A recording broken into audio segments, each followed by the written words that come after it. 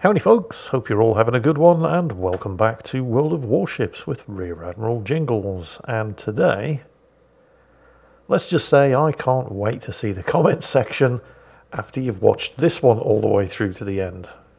And for a couple of reasons. The first of which, let's just get this one out of the way right at the start. This is Asian Death God in the Japanese Tier 8 fast battleship, the Amagi. The Amagi is known for many things. It's fast, least by battleship standards. It is armed with 10 extremely potent 16 inch guns. What it is not known for, however, is the efficiency of its secondary gun batteries. So here's our first point of controversy. This is a secondary build Amagi. Yeah. now, having secondary builds on Japanese battleships isn't completely out of the question. At least not on certain Japanese battleships. The Kii, for example, the Tier 8 Premium, can make a surprisingly effective secondary brawler. And that's because the majority of the Kii's secondaries are 100mm guns. And Japanese 100mm guns because of destroyers like the Kitakaze, the Akizuki, and the Harugumo, are blessed with quarter caliber high explosive penetration, the same as the Germans. So even though the caliber of the guns is small, they basically have the inertia fuse for high explosive shell skill built in for free. And on the Kii, it can be surprisingly effective to go for a secondary build. But that's on the Kii. The Amagi secondaries are either 127 or 140mm guns, and they do not get the benefit of that quarter caliber high explosive shell penetration. So a secondary build on the Kii actually kind of makes sense, but a secondary build on the Amagi? Particularly since while the Amagi is many things, it is definitely not a brawler. It has accurate, hard-hitting, long-ranged guns and very good speed, but it doesn't have armor. So even with the secondary skills and modules that Asian Death God has fitted in order to extend the range of his secondary gun batteries out to 10 kilometers, which is pretty good. I mean, it's still short range by German standards, but it's really good by Japanese standards. 10 kilometers is closer than I'd prefer to get to, particularly an enemy battleship in an Amagi. Because while the Amagi can definitely dish the damage out, it's not that good at taking it although it does take it better than Tier 6 cruisers that expose broadside to battleships at that kind of range in a Tier 8 battle. Such is the fate of all Tier 6 cruisers who get themselves spotted broadside on in open water through battleships in Tier 8 battles. Pesky little New Orleans ducked in behind the spit of land over there, and what is this Richelieu doing? Other than dodging torpedoes. Oh, do you see what Asian Death God's doing here? He was getting greedy. The front turrets were ready to fire, but he held his fire until the rear turrets also had the target. But he waited so long because he's moving forward that at the time the rear turrets were ready to fire, both of the front turrets and at least one of the rear turrets were occluded by the island and didn't actually have the shot. So he cost himself a fair bit of damage there by waiting and holding his fire until all of his turrets were trained on target. The New Orleans, however, appears to have severely miscalculated just exactly how long a 30 second reload lasts. He's starting to reverse now, and he was very lucky to get away with the minimal damage. I think they were just overpens. The secondaries are starting to score hits. But the Japanese secondaries aren't particularly accurate either. It's not like the Massachusetts, for example, which not only has great range but great accuracy on its secondaries. Still, hits are hits. He's going to have to fire blind at New Orleans there. He's currently on 44,000 damage. And... Yeah, that wasn't too bad actually. 8,000 damage or so. Nothing that New Orleans is going to be worrying about, however. The New Orleans, who is smarter than he's letting on, waited precisely for Asian Death God to fire before getting that salvo off. And it did set a fire, but with no further danger of additional fires, Asian Death God has used the damage control. He's coming around the other side of the island now because there is a very nasty looking smoke screen over there, which probably contains the enemy Farragut. They do have a Gajiyamada, which has a one tier advantage and a significant health advantage over the Farragut. But the Farragut is surprisingly dangerous, particularly in a gunfight for a tier 6 destroyer. But while the Gadget Armada has the advantage of backup from Asian Death God's primaries and secondaries and a friendly New Orleans of their own, he's managed to get close enough to the Farragut that he can actually be torpedoed, and the Farragut has backup and support from a few teammates of his own as well. So Asian Death God secondaries finish him off and get the kill, but that has cost the Gadget Armada, if we get a look at him, way more health than was probably acceptable in a trade with a tier 6 destroyer. That's cost the Gadget when we see him you'll see it, nearly two thirds of his health. Asian Death God gets some shots out at the Atlantico over there, but because he was turning it's the rear turrets only. And completely misses. That was unlucky. Not often you get well, I was going to say it's not often you get broadside battleship targets like that to shoot at in World of Warships, but who am I kidding? at some point in every game you play, battleships are going to give you that kind of target to shoot at, and it's usually then when you miss every shot that you fire. If that North Carolina would like to get involved, that would be lovely. Atlantico's still in range. There you see the Gadget He was on full health. Not anymore. The scores are still dead even. This could go either way. It's a standard battle, not domination. There are only two caps. But then the friendly Atlantico manages to put the team ahead by getting a secondary kill on the enemy York. And the enemy Richelieu appears to be absolutely determined to cost the enemy team another battleship. Now, the Gadget Armada couldn't use its torpedoes against the Farragut earlier because they're deep water torpedoes. They can only hit cruisers, battleships, and aircraft carriers. But he can use his torpedoes against the Richelieu, who is in open water, given a lovely flat broadside.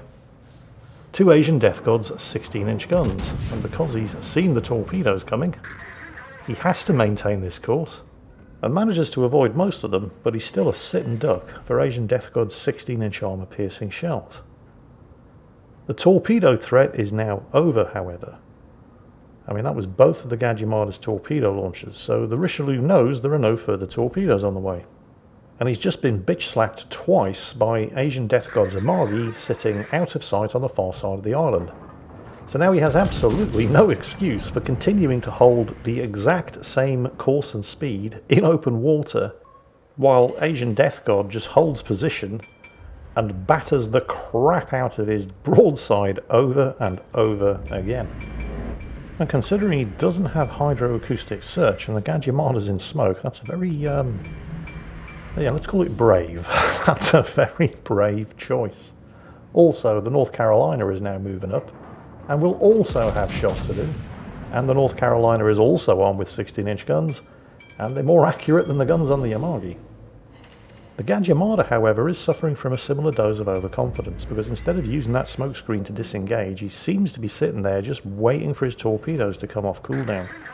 And while he does have Asian Death God and the North Carolina backing up, the North Carolina, not through lack of trying, hasn't really managed to do anything, and he no longer has the New Orleans because that just got sniped from across the map by the enemy Atlantico.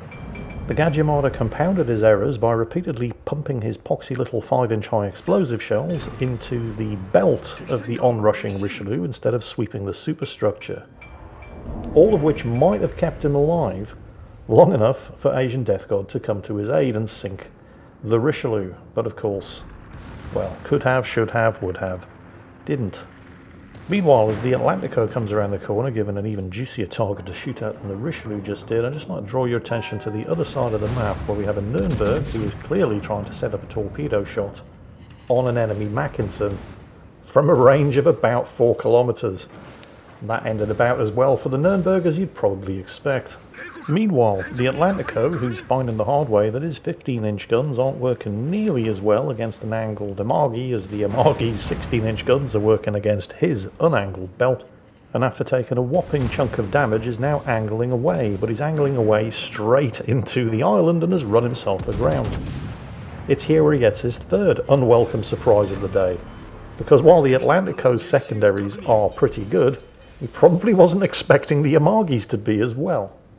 At more or less exactly the same time, the North Carolina dispatched the New Orleans, which means this side of the map is now 100% clear of enemy ships. Although possibly not 100% clear of enemy aircraft, but that's going to be down to the enemy Lexington, and there's nothing that Asian Death God can do about that. He takes the opportunity to pop one of his heals, he still has two remaining. Unfortunately, the enemy Tirpitz finishes off the Amalfi. They still have a one kill advantage, and they do have somebody in the enemy cap circle, the Fubuki over there. But do you see those torpedoes? that's the enemy Akatsuki. And that's really bad news for the Mackensen and the Fubuki, but particularly the Mackensen because he's dead. Caught between the Akatsuki's torpedoes and a cross drop from the Lexington. The Fubuki's still alive, and he's still inside the cap circle. It's going to be down to the Mackensen. But the Mackensen is a German battle cruiser. German battle cruisers have very, very long range hydro, and he sees the Fubuki. Asian Death God also sees the threat to the Fubuki and realises that the game is riding on it. And unfortunately for the Mackensen, he is kind of committed here because he must, if not kill, then at least drive the Fubuki out of the cap circle because the game is riding on it. So he's kind of committed to that course and speed. Which means that if the Fubuki's torpedoes don't get him, Asian Death God will and it's the Fubuki's torpedoes that get him, but the Fubuki is far from safe. Look at all of those torpedoes. Luckily, the Fubuki either saw them in time, or he was pre-angled and expecting the torpedoes and was able to thread the needle between them, so he's still alive, he's still reasonably safe, and he's still inside that cap circle.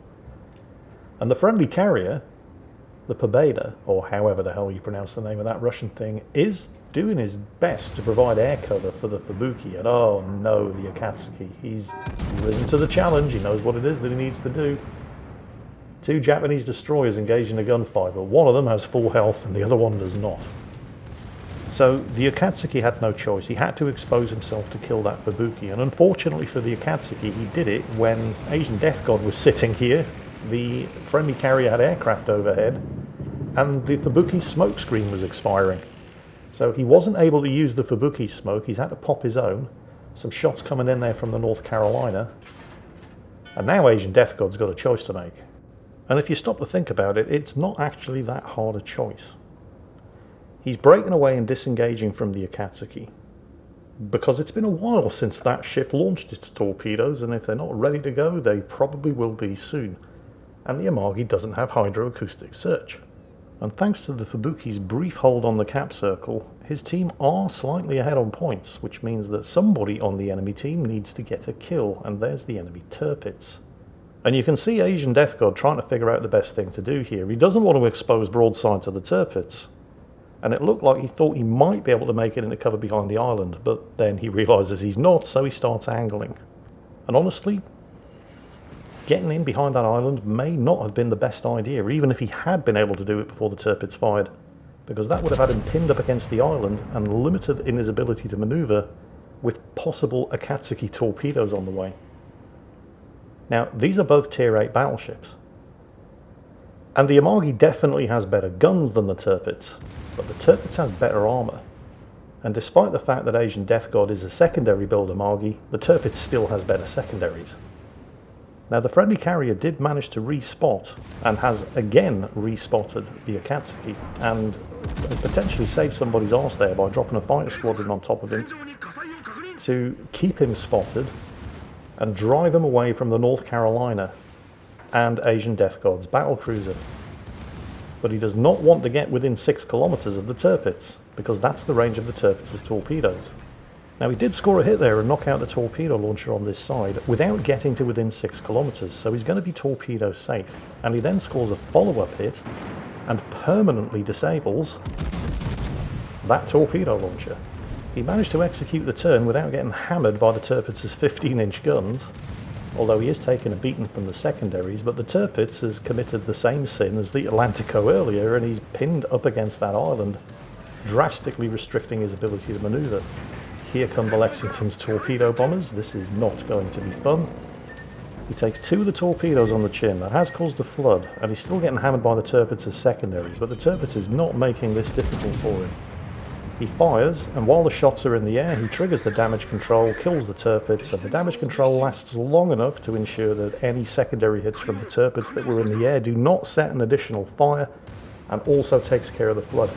But here comes the Akatsuki. That, by the way, is the high caliber Confederate and Kraken. Here come the Akatsuki's torpedoes. The secondaries are hammering in. The friendly carrier has aircraft overhead. The Akatsuki is not going to be able to disengage. The North Carolina is once again a day late and a dollar short to the party and is not really contributing much to the fight here. But The friendly carrier is getting stuck in with what he has. They're just torpedo bombers, but anything's better than nothing.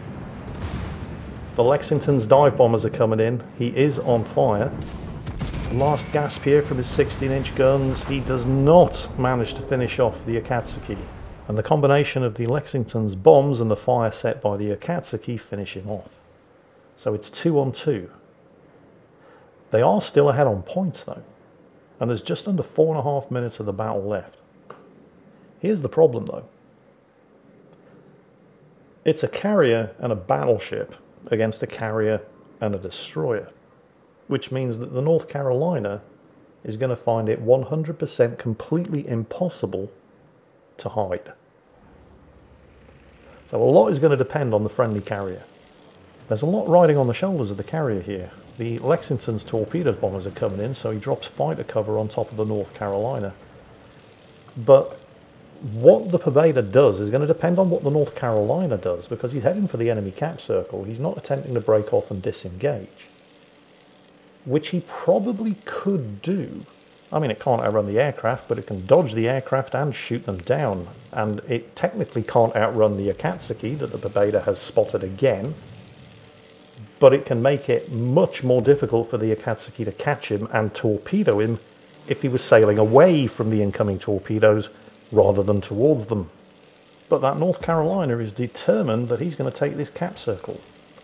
And that's playing right into the hands of the enemy team because it means the Lexington gets to cycle its aircraft faster because the North Carolina is getting closer.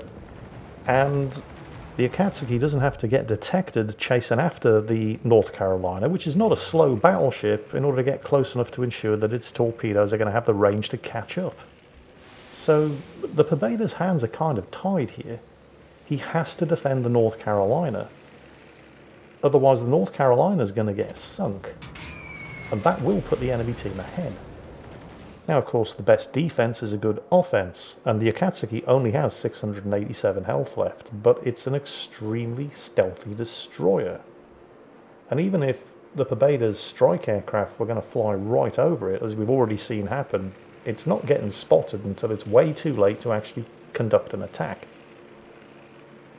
The skip bombers are probably his best weapon against the Akatsuki, but he's going to have to fly over it, spot it, and then come back around for another attack. And he's hidden inside a smokescreen. So the best chance is for him to spot the Akatsuki and have the North Carolina shoot it. But the Akatsuki knows this as well, so he's hiding behind the island.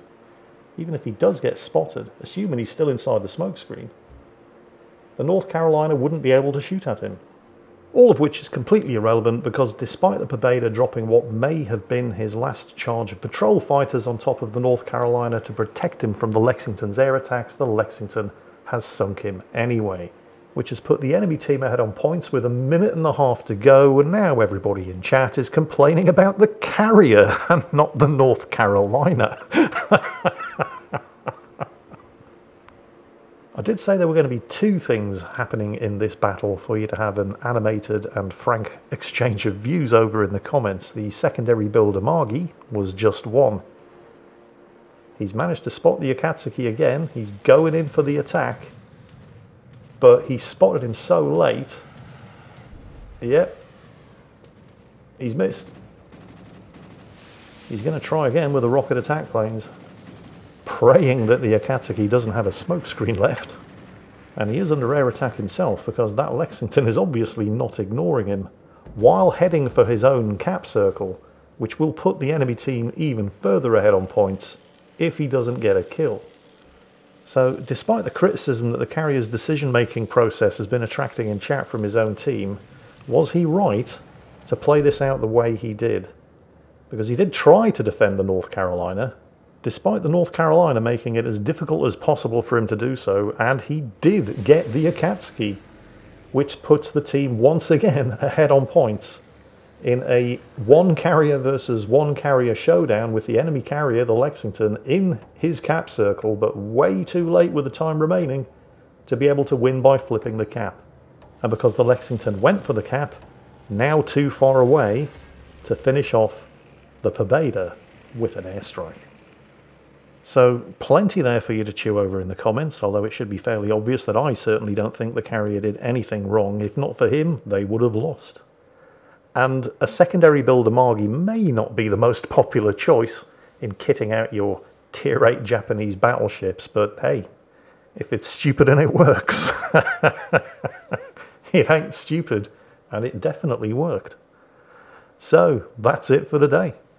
I hope you've enjoyed it. I hope it's given you something to talk about. And as always, take care, stay safe, and I'll catch you next time.